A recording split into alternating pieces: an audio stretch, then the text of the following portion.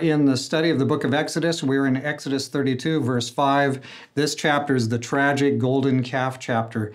All this other good stuff that's been happening is suddenly crunched. Uh, these people are going to go absolutely sideways here. Here's the fifth verse. Now, when Aaron saw this, he built an altar before it, and Aaron made a proclamation and said, Tomorrow shall be a feast to the Lord.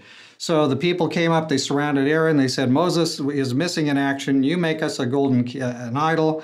Aaron uh, empowered it. Aaron actually built the thing.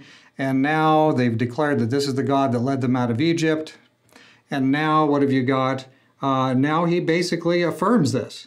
So he actually goes and he builds an altar before it. Now Moses is on the mountain getting the instructions for the actual uh, the actual tabernacle, wilderness tabernacle, the sanctuary, which will have the uh, in the courtyard. It'll have the burn altar for burnt offering, and then it'll have the holy and most holy place, and it'll have the Ten Commandments packed in there, and it's going to have the blood ministered from the from the uh, bronze outer altar into the holy place and sprinkled before the curtain, and, and all the other pieces we've talked about so many mornings. Uh, so that whole thing is coming. But guess what? How much blood do you see ministered here with this with this calf idol, zero, zed, nothing. There's no blood to be ministered. There's no priesthood here.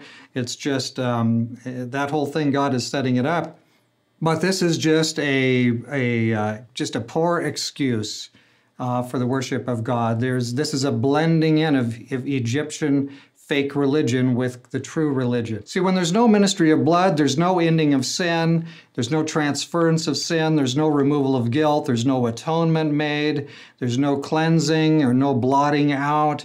This is just going to make a big, a big goofy mess. And go back to when God said, Look, let them make me a sanctuary that I may dwell among them. Well, if the sin isn't taken care of, God's not going to be dwelling among them. They'd be vaporized by his presence.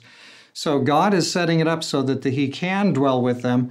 They now are taking matters into their own hands. They're going absolutely sideways with this weird Egyptian amalgamation thing going on. And there's no atonement. Uh, there's no sin sin issue. It's just rituals. This is disaster.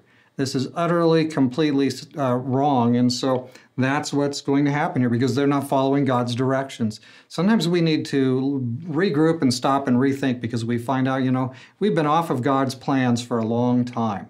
So let's go back, back up a notch, get on God's plan if He'll still have us, and uh, let's let's uh, let's humble ourselves and say, God, please forgive us. But here, this is this is getting worse by the hour. So they declare there's going to be a feast. And what's that? That's going to be a false worship day. Do you begin to see some interesting pieces here? Like, you know, Sunday is not commanded in the scripture, but Sabbath, Saturday basically is. And it's most churches today, most Christians go to church on Sunday, a day that God never commanded as a day of worship. It's a work day according to God's Ten Commandments. And here is Aaron, the leader of Israel, at least the uh, leader pro tem, the immediate leader guy, because Moses is missing right now. He's Moses is in, in an interview with God so that that's okay. We'll, we'll, we'll give him a well. He's got a note from his doctor there. But now Aaron is going to uh, declare some fake feast day that, that he's going to make up out of out of nothing. No, we have we have God's days like the seventh day, the Sabbath.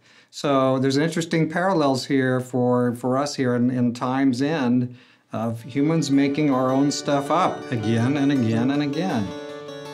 All right, let's uh, carry on tomorrow morning.